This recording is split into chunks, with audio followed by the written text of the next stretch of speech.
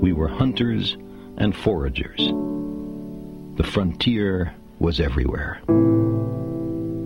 We were bounded only by the earth and the ocean and the sky. The open road still softly calls.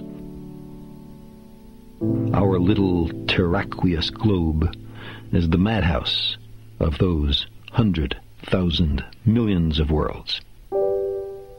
We who cannot even put our own planetary home in order, riven with rivalries and hatreds, are we to venture out into space? By the time we're ready to settle even the nearest other planetary systems, we will have changed.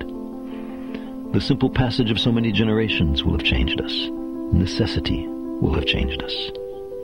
We're an adaptable species. It will not be we who reach Alpha Centauri and the other nearby stars. It will be a species very like us, but with more of our strengths and fewer of our weaknesses.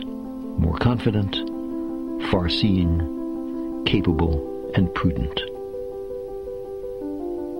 For all our failings, despite our limitations and fallibilities, we humans are capable of greatness.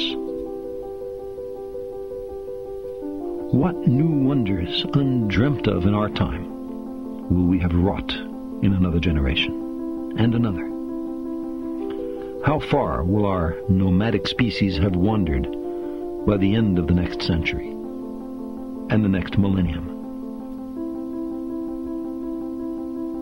Our remote descendants, safely arrayed on many worlds through the solar system and beyond, will be unified by their common heritage, by their regard for their home planet, and by the knowledge that whatever other life may be, the only humans in all the universe come from Earth.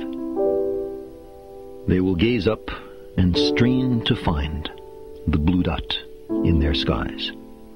They will marvel at how vulnerable the repository of all our potential once was. How perilous our infancy. How humble our beginnings.